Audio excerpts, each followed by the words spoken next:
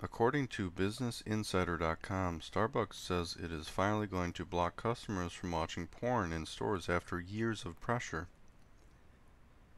Next year, 20, 2019, the coffee giant plans to introduce a new tool meant to prevent customers from viewing pornography or other explicit content in stores.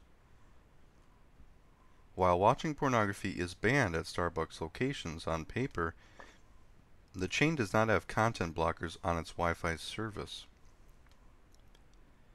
To ensure the third place remains safe and welcome to all, we have identified a solution per to prevent this content from being viewed within our stores, and we will begin introducing it to our U.S. locations in 2019, a Starbucks representative told Business Insider in an email on Wednesday.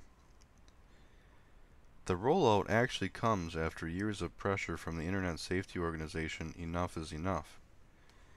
A petition from Enough is Enough calling for Starbucks to filter porn was signed by more than 26,000 people, people as of last Wednesday.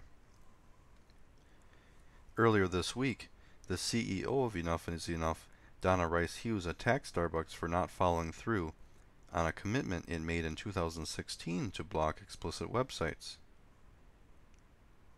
and she made she made a few very interesting comments regarding this and and the the importance of getting these filters in place. She said by breaking its commitment, Starbucks is keeping the doors wide open for convicted sex offenders and others to fly under the radar from law enforcement and use free public Wi-Fi services to access illegal content. She also said having unfiltered hotspots also allows children and teens to easily bypass filters and other parental control tools set up by their parents on their smartphones, tablets, and laptops. Donna Rice Hughes said she was thrilled that Starbucks said it was rolling out a solution, but she noted that the chain had lagged behind others including McDonald's, Subway, and Chick-fil-A that have had porn filters implemented since 2016 or earlier. She closed her statements with saying, People sit there for hours using the internet. They're known for this. Let's make it safe and secure.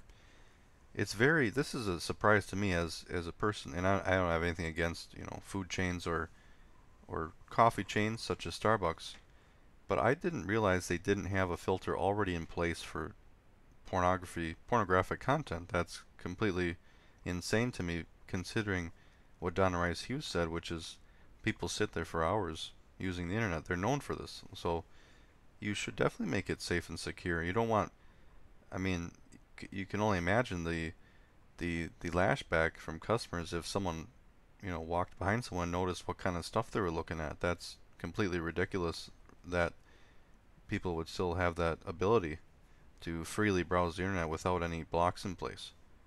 We need we need to make sure that all public Wi-Fi, in my opinion, has some sort of filter on it. Otherwise, like she said, convicted sex offenders can, uh, so to speak, fly under the radar from law enforcement and just go to free public Wi-Fi spots and continue to indulge in their sickening illegal stuff.